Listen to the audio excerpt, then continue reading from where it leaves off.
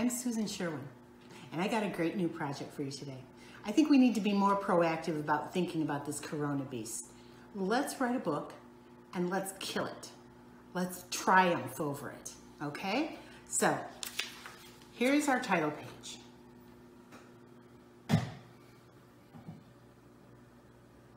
I want you to put some background or foreground in it. I just gave you the letters. Okay, here's the first part. We're gonna draw the beast. All right, come on in. Um, I'm not really good at beasts. I'm not really good at making them scary enough. So this is how I'm gonna teach you how to do this. And I'm helping myself get a scary beast too. Uh, first of all, we're gonna start with the pink stuff because there are pink blobs on these, this coronavirus. Okay, and now we're gonna put some eyes on. Do not put the eyes equal and symmetrical. We want them asymmetrical and random. So I'm gonna put one eye here and a really big eye there, okay? And we're gonna put the pupil here and the pupil there.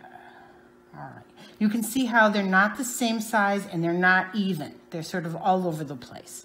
And I'm gonna give it a little, some little red veins to make it look bloodshot. Don't know if these eyes are bloodshot or not, but we're going to do it because it looks scary. You can take your time and do this more precisely if you want to. All right, next thing we're going to do is put in some uh, scary hands. And let's do three, just to, just to be weird okay?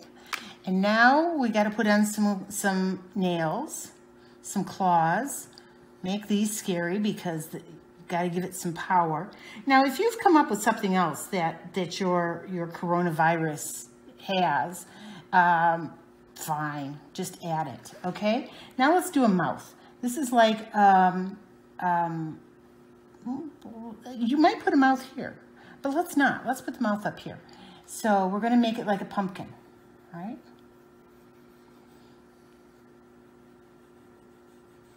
All right, and maybe we'll put that together. So there's our mouth. All right, so we've got a monster coming and it's not symmetrical, that it's pointy, and now we want to put some ugly colors in too. All right, so just start working it and see where it comes out. All right, here's our beast. Now it's time for the superhero. I would love this to be you. If you can draw you as a superhero battling the beast, that would be great. But a lot of people find that hard to do. So it could be your hero, it could be somebody else.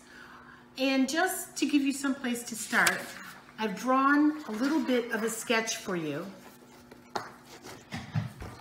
now, as you can see, this is the outside of the legs, and this is around the arms. You're gonna have to fill in the whole face and everything else. So feel free to go across these lines or change or do whatever you want. This is just to give you a little head start, okay? So you're gonna want to address a few things. You're gonna wanna do something on the head. You're gonna wanna do some kind of mask or goggles. You're gonna want to do a superhero outfit, which is usually tight. It might have a cape. It might have gloves. It might have a utility belt. It probably has some weapons.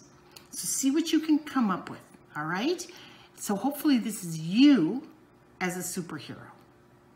Okay, we're gonna take our superhero and have it fight against the Corona Beast.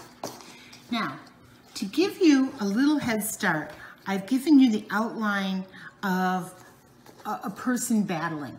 And I've tried to give you as little as possible. So this is, here's the head. There's the lower side of the arm. You have to put the other side in. And maybe there's costume or something going around this. You can put weapons in each of the hands. You can have extra things strapped to the body. Here's a foot, there's a foot. That's the top of the leg and the back of the leg. So then you'll have to draw this in. But I think this will give you a good start for the battle. And now the hero is in the foreground. The monster, the beast, is in the background. Okay, so first draw your superhero and then draw your monster behind it in the background. Okay, your monster could be whatever size you want. All right, we're at the last part. This is the victory. Here's my head start for you, okay?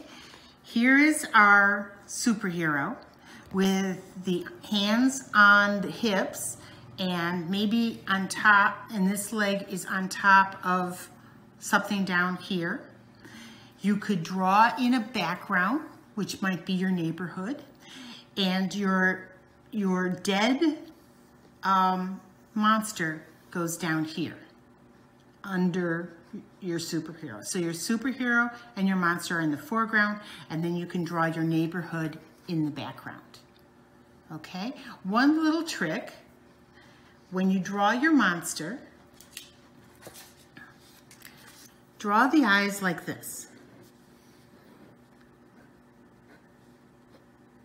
This has traditionally been a way that cartoonists show that it's dead. Okay? That's one of the ways. But you can be gory and it can be messy and you can have a lot of fun with this. But this is our victory.